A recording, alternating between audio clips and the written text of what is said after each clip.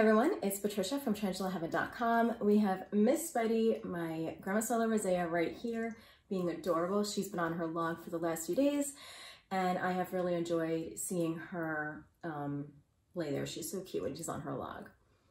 Anyway, today I wanted to give you guys a quick update about an art project I've been doing. I had, was making uh, clay water dishes for tarantulas. And I actually did sell a few and I put a few on my Etsy and there was some really amazing, beautiful support and encouragement. And even within the last few months, um, a wonderful supporter asked me if I was going to make any more of those.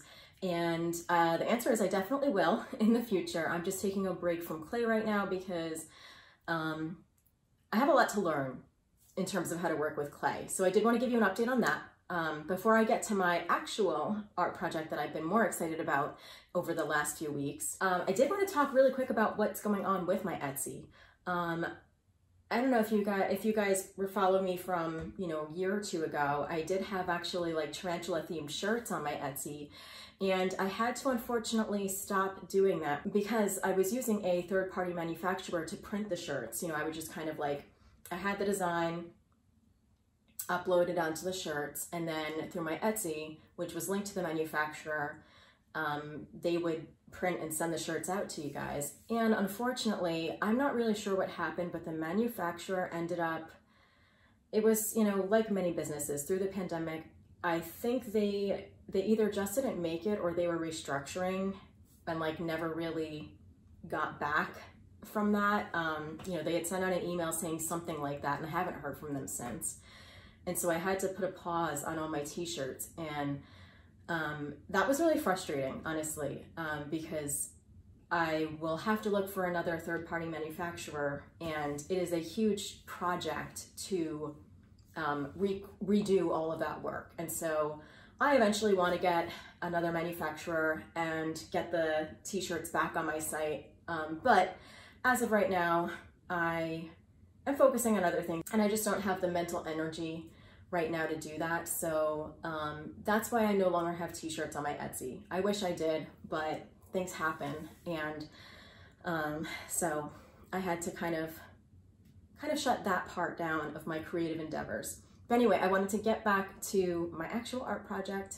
Just wanted to give you guys an update about the changes that have been going on on my Etsy. And I'm going to show you.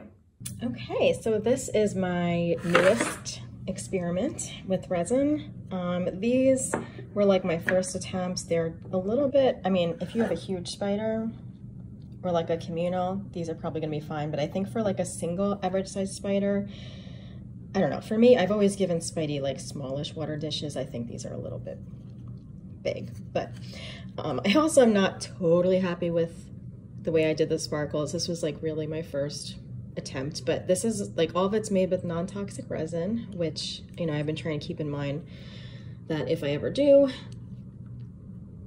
uh, sell these, that it has to be safe for the spiders. Um, the, it may not look like it, it's very sparkly, but um, the sparkles are in the resin. So the sparkles are not gonna come off, like your spider's not gonna drink the sparkles, if that's possible. I made a heart one too. I just think these are a little bit too deep for a spider. You can see like I'm really quite new. Like the sparkles are collecting in a place where I'd probably rather them not. So I don't know. If I ever put these on my Etsy, they're gonna be like very cheap because these were like basically tests. Um, but got a little bit better. And so I bought um, better molds and these are definitely more appropriate in terms of what a water dish should look like in terms of size and depth. Um, and I ditched the sparkles because they weren't working. So these are with mica and non, that non-toxic resin. And I'm actually really happy about this. This is so cute. It's very shiny, looks a lot better. so I think uh, these are the molds or similar molds I'm probably gonna keep using and get some more. This is a flower one. I really like this actually. The thing that I really am enjoying about this process is like one, making like more aesthetically pleasing designs um, because I feel like a lot of tarantula decor is like very, I don't know, it's just like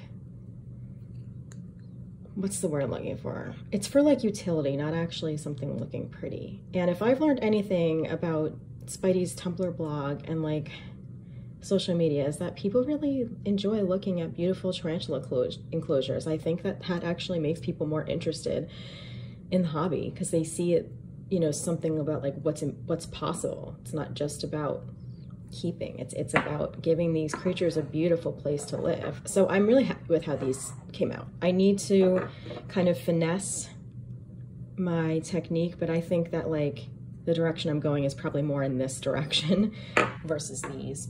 Um, and um, I'm probably gonna play with a little bit different molds too so I can make different designs, like maybe just a circle one or something like that, but so cool. Um, I also started to play, and I need a lot more work, but like with different, trying to figure out how to do, actually do designs or like multicolor ones. this is totally like, I don't know if I'm gonna put this on Etsy, but it's a test of like multicolored. I'm also really interested in making girly um, things like, you know, like the flower and the heart, just because I think a lot more girls are getting into the hobby. And um, I think we should have options. I think that girls are like kind of like a, I don't know what that is, kind of like a missed demographic in terms of the aesthetics. So this is another design I was playing with. I, I clearly don't know how to mix my resins yet to actually make something look good. Like these have bubbles. I was being very impatient. You shouldn't have bubbles. Um, I clearly didn't clean out my mold. So this probably is not going on the Etsy, and if it does, it's going to be super cheap. But yeah, I'm experimenting. so I'd love to hear what you guys think. Um, and um, let me know if there are any like designs or advice that you think would help in my product making. Um, if I can get this design right, it would be so cute. Like have like a little different colored rim or like a different center. It'd be adorable. Um, and this is something I'm very excited about. I happened to find a tarantula mold. Oh my God, how cute would this be for a water dish? I want to figure out, so the mold that I have, oops, as you can see, they don't break. Resin's a very sturdy material. um, so I made this one exactly how I made the other ones, but for whatever reason, this one is like kind of like pearlized, which is fine. That's not a problem. Like it's still very cute, but I really enjoy the look of, oh my goodness. I really enjoy the look of these, like how uh, it's glossy. This is more of like a matte look. I'm not sure if it's like a user error where I didn't do it correctly, but whatever. I am so excited about this design. Um, oh my God, if I could actually get my color resin right and I could actually like make different tarantula species with the colors, oh my God, that'd be so awesome. Um, so I love this idea. I actually really want to put this in Spidey's enclosure and see what she does with it. Um, I think this would be so fun for any size tarantula. Um, maybe a little bit too big for the babies, but um, oh my goodness. It's small enough that like even like a juvenile could use it. So this is probably going to be something I experiment with a lot more. Um, I've never seen a water dish like this, so super, super enthused about it.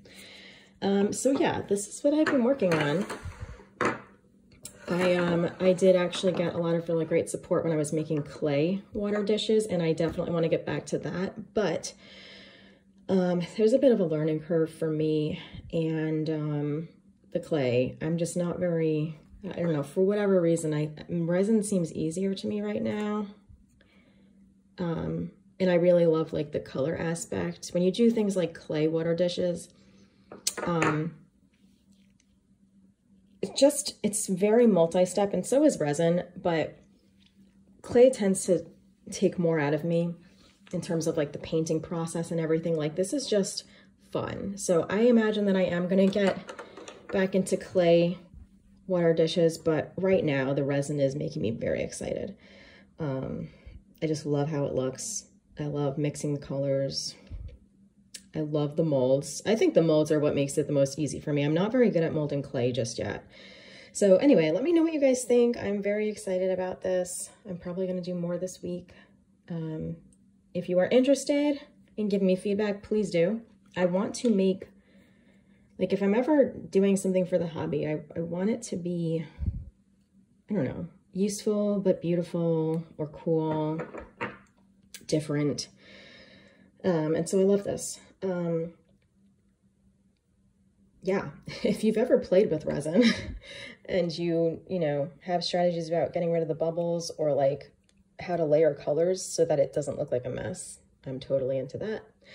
Um, and yeah, uh, I'll keep you guys updated. If you want to check out the Etsy, I might have a few of these posted.